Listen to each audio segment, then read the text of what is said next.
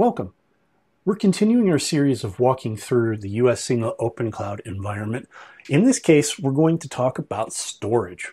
Storage obviously is essential for all the compute instances that you create because you have to be able to write your data somewhere.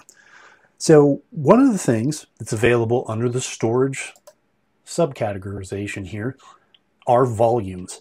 So these are the different volumes that are associated with instances. You can see they have various names, automatically named based off of the type of device that's being used, where you're at in sequences.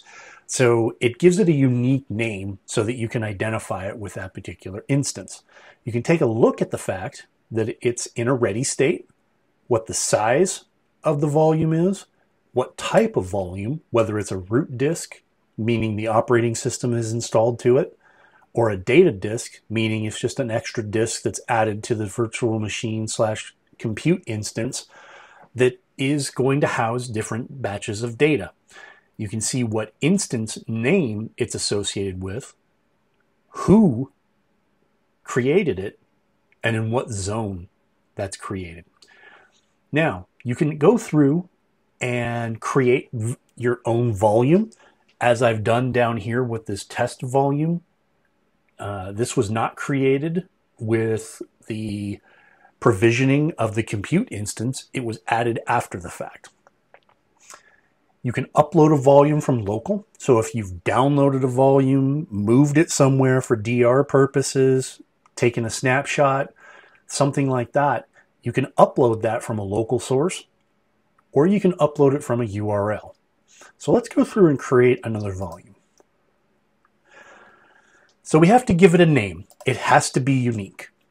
So in this case, test volume 2. We're going to go to the existing zone that I've copied everything to, which is Lab 01. We're going to only do the one offering that's available, which is custom disk. Now, everything's going to be listed in gigabyte. So let me add a 20 gigabyte disk by default, and I don't need to specify GIB or GB or anything like that. If I just specify a number, it's going to automatically create that arbitrary volume size. So you can see that I've created volume 2. Volume 2 has been associated into the system as a volume that is, is utilizing and using 20, 20 gig of storage. Now if I click on the volume, I have the option now to delete the volume. Keep in mind that this is a destructive process. This will not delete any snapshots of the volume that you've created, but it will delete the data disk. So let me do that. So you can see the volume has been deleted. Now, let's go ahead and take a look at the concept of volume snapshots if you've ever worked with Amazon Web Services, you've kind of seen the idea with Elastic Block Storage, or EBS. The same sort of principles seem to apply here in the open cloud environment. What we can do is we can take snapshots of the volumes and use those as ways to recover the disk or to snapshot a disk before something major is going to happen, like a big patch that you're going to install, so you can roll back to that particular volume snapshot. So this is what that allows you to do from a data perspective. So you can see that I do have a volume snap snapshot that I've created from the root disk of Windows 2019 test. So let me select that. I've, the only option I've got available to me in this particular screen is to delete the snapshot.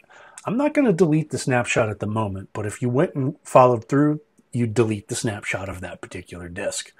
And you'd see the name associated with it. So in this particular case, it would be root 113 um, that corresponds to that particular uh, instance name. So that's been a quick walkthrough of the storage system inside of US Signal's Open Cloud. Relatively simple. But as you can see, you can kind of get yourself in trouble with either over provisioning or deleting the varying degrees of volumes or volume snapshots, depending upon what your uh, contract may may have in it for utilizations purposes. So keep that in mind when you're creating and adding new data disks.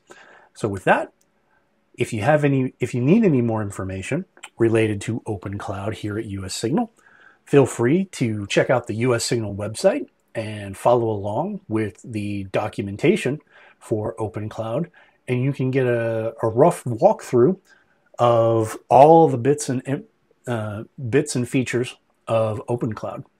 With that, I hope you follow along with the rest of our series and get uh, more information about the US Signals OpenCloud environment.